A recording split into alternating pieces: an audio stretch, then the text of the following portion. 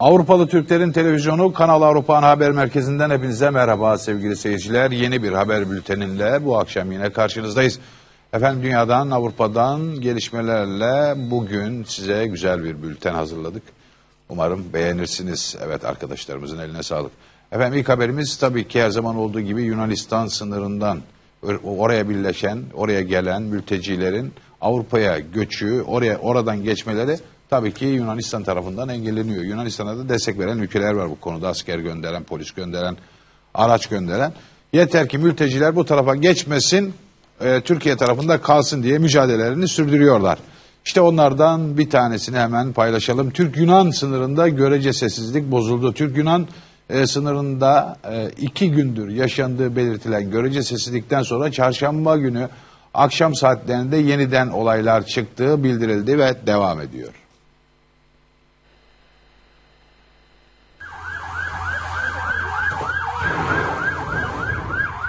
Türk-Yunan sınırında iki gündür yaşandığı belirtilen görece sessizlikten sonra çarşamba günü akşam saatlerinde yeniden olaylar çıktığı bildirildi.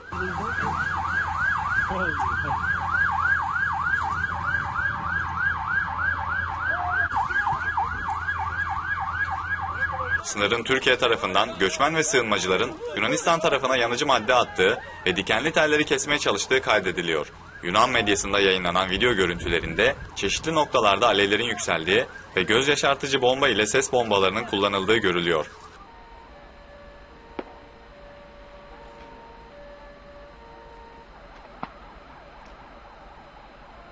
Diğer yandan Yunan Katimerini gazetesi çarşamba öğle saatlerinde iki Türk F-16 savaş uçağının Meriç Nehri üzerinde Yunan hava sahasına girerek alçak uçuş yaptığını bildirdi. Gazetenin Yunan Genelkurmay kaynaklarına dayandırdığı haberde Türk F-16'larının sadece birkaç yüz metre irtifada uçtuğu iddia edildi. Gazete olayla ilgili olarak iki günlük sükunetin ardından Türkiye'nin gerilimi yeniden tırmandırmak istediği yorumunu yaptı. Çarşamba sabah saatlerinde İstanköy Adası açıklarında Türk sahil güvenlik teknesinin bir Yunan hücum botuna önden hafifçe çarparak korkuluklarında hasara neden olduğu bildirilmişti. Anadolu Ajansı olayı Bodrum bölgesinde Türk karasularını ihlal eden Yunan sahil güvenlik botu Türk sahil güvenlik botu tarafından sürülerek çıkarıldı. Yunan unsurunun Türk karasularından çıkarılması sırasında iki bot arasında sürtüşme yaşandı diye aktarmıştı. Sabah saatlerinde yaşanan olayla ilgili Yunanistan'ın Ankara Büyükelçisi Türk Dışişleri Bakanlığı'na çağrıldığı bildirildi.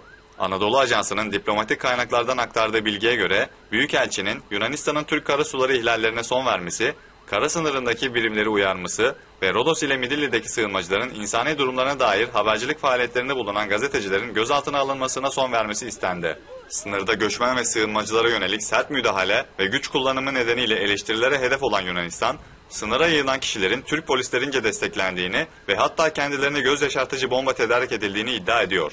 Yunan hükümeti, Türkiye'nin iki göçmenin Yunan polisinin kurşunlarıyla öldürüldüğü suçlamasını reddetmişti.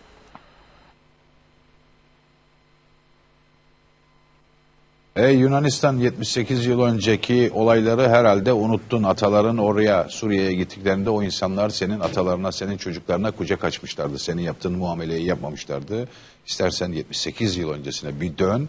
O günleri hatırla ve ona göre bu mültecilere e, kendi gerçekten hakları olan Dublin Anlaşması'na göre 92, 92. maddesine göre istediği ülkeye gitme özgürlüğünü elinden almaya kalkma. Tabi Avrupa'da buna göz yumuyor şu anda. Yunanistan'ın sert tutumuna bakalım ne olacak. E, mültecilerin Allah yardımcısı olsun bu soğukta, bu karda, kışta aynı zamanda korona e, biliyorsunuz e, salgını var.